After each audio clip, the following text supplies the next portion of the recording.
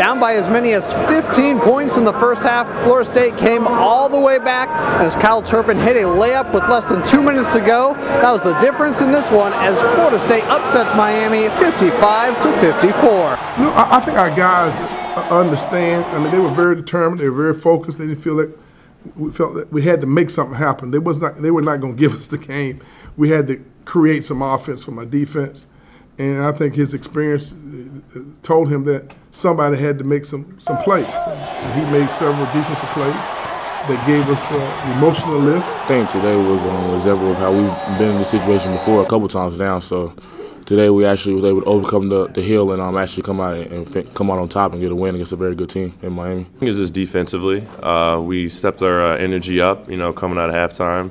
Uh, we were down a couple points, and we knew that our defensively that we needed to make a lot more stops.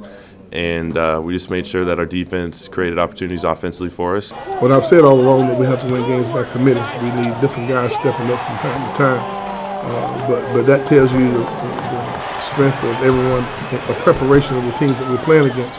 Because Miami was determined not to let uh, Booker, Kofor, and XB, the offensive factor they have been. And we needed other guys to step up.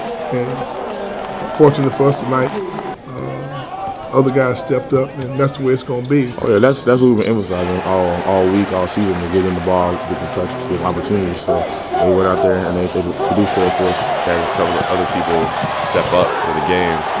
And uh, I think that's what the bigs did. We were just more physical than we've usually been. And we knew that, you know, X wasn't going to get any touches. So we got to make sure we call for the ball and just be aggressive and be able to finish in the paint.